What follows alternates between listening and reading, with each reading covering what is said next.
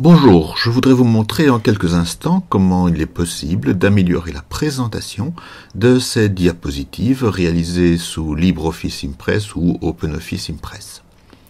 Alors nous savons qu'il existe bien sûr des pages maîtresses qui vont nous proposer différentes mises en forme prédéfinies. Euh, le problème c'est que ces pages maîtresses euh, sont souvent un peu chaotiques et la présentation n'est pas toujours optimale. L'idéal donc pour nous serait certainement de pouvoir réaliser nous-mêmes les présentations globales de nos diapositives. Alors pour cela, on va passer par le mode masque. Pour afficher les diapositives, pour afficher une présentation dans son mode masque, on va dans le menu affichage et on sélectionne masque des diapos on se retrouve ici maintenant dans ce qu'on appelle donc le mode masque, c'est-à-dire un modèle qui va pouvoir être appliqué à toutes les diapositives de notre présentation. Imaginons maintenant que le fond vert qui est là ne nous plaise pas. Alors nous remarquons ici que la présentation a été réalisée à l'aide d'une grande image qui a été mise en arrière-plan, grande image avec une taille bien fixe, bien définie, et cela même peut poser problème. Si je la réduis en hauteur, je vois que je n'ai plus qu'un petit fragment de cette image. Voilà, alors moi je vous propose de carrément supprimer l'image. Voilà, et je me retrouve maintenant avec une diapositive toute morne, toute laide. Alors ce que l'on pourrait faire évidemment, c'est sur chacune des zones, c'est définir euh, une mise en forme. Ici j'ai sélectionné la zone de titre principal, je fais un clic droit et je vais changer le remplissage. Dans ce remplissage, plusieurs options possibles. Je peux simplement choisir une couleur, un dégradé. Alors ici, je vais prendre un dégradé. La boîte de dialogue me propose des options minimales, mais dans l'onglet dégradé, je vais avoir plus de choix.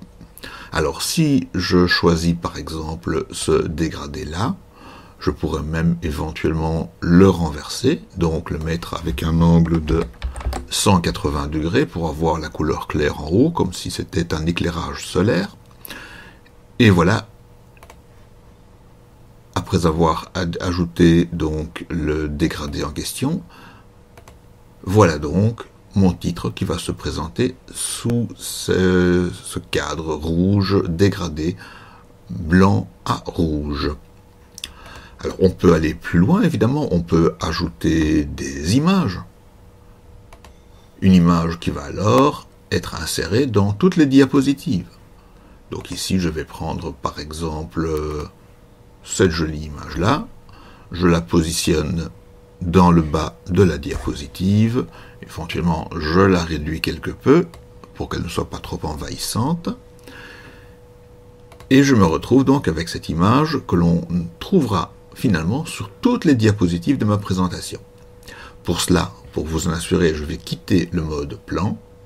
Donc, je reviens en mode normal. Et j'ai cette fois-ci ma première diapositive telle qu'elle se présentera. Si je crée une nouvelle diapositive, j'ai exactement la même présentation a priori. Et si je change de modèle, j'ai toujours la même présentation, le titre en haut sur fond rouge et le personnage en bas à gauche. Si je retourne dans le mode masque, je peux faire des choses plus impressionnantes encore. Affichage, masque, masque des diapos. Alors, première chose un peu impressionnante que je pourrais faire, c'est changer la couleur de tous les titres donc ici, j'ai sélectionné ce titre modèle qui se trouve dans le mode masque. Et je vais par exemple le mettre sur un fond jaune.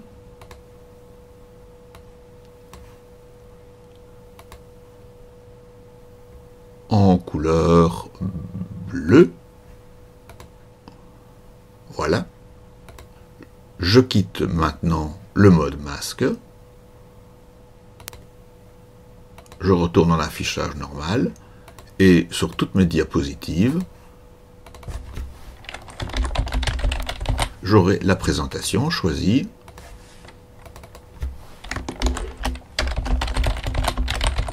dans le masque. Dernière incursion dans le mode masque. Affichage. Masque des diapos. Cette fois-ci, je me propose de faire un arrière-plan qui va couvrir l'ensemble de la diapositive. Alors je pourrais évidemment procéder avec une photo, des choses pareilles. Euh, il y a toujours intérêt sur les diapositives à être assez discret sur les, fonds, sur les arrière-plans, de manière à ce que l'attention de l'auditoire ne soit pas trop attirée par l'arrière-plan, mais plutôt par ce que l'orateur va raconter. Alors je vais donner un exemple qui ne va pas être exceptionnel sans doute. Je vais prendre dans la barre d'outils de dessin l'outil rectangle je vais dessiner un rectangle.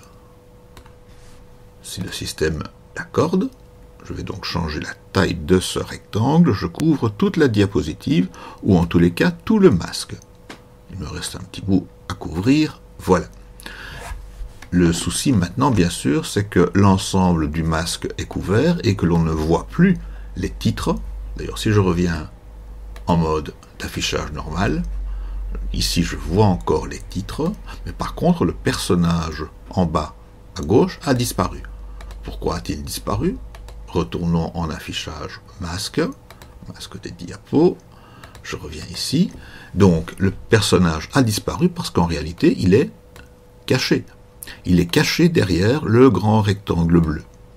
Alors, la, solution est la suivante. Un clic droit. Et je vais organiser et envoyer ce rectangle tout à l'arrière. Tout à l'arrière, de manière à ce que le personnage, lui, soit forcément devant. Alors si ce bleu ne vous plaît pas, vous pouvez bien sûr toujours, dans les options de remplissage, choisir un dégradé par exemple, vous pouvez choisir les couleurs, prenons quelque chose d'absolument étonnant ici, donc il me demande d'ajouter ce dégradé, je vais l'ajouter et voilà. Donc ceci est évidemment un très mauvais exemple, très mauvais goût, hein, le rose avec le rouge, mais ça nous permet de voir comment cela fonctionne. Alors, sur la, la première diapositive du mode masque, je veux faire exactement la même chose. Donc, de nouveau, un rectangle qui occupe toute la surface. Je la mets à l'arrière. Vous remarquez que sur cette diapositive du mode masque, il n'y a pas le petit personnage. La mise en forme est différente, donc il n'y a pas les couleurs en haut non plus. Je quitte le mode masque. Je reviens au mode normal. Mes diapositives sont définies avec le masque, deuxième masque que j'avais euh, réalisé mais je peux éventuellement imposer à une diapositive ou l'autre un autre masque. Donc j'ai sélectionné maintenant la première diapositive et j'ai la possibilité de choisir le masque standard pour cette diapositive-là. Donc un clic droit ou le masque qui avait été défini par le concepteur, mais que j'ai redéfini moi-même pour les diapositives que je veux. Voilà.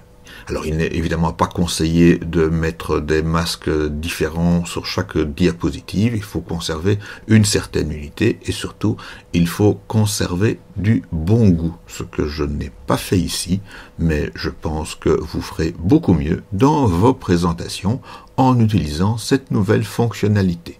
N'hésitez pas à utiliser d'autres outils de dessin pour améliorer ce fond, qui ici par exemple est un peu morne, euh, on pourra faire beaucoup mieux que cela. Voilà, je vous laisse maintenant travailler à améliorer vos propres diapositives. Bon travail